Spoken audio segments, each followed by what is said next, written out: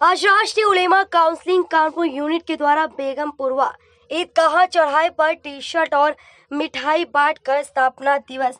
बड़ी धूमधाम से मनाया गया।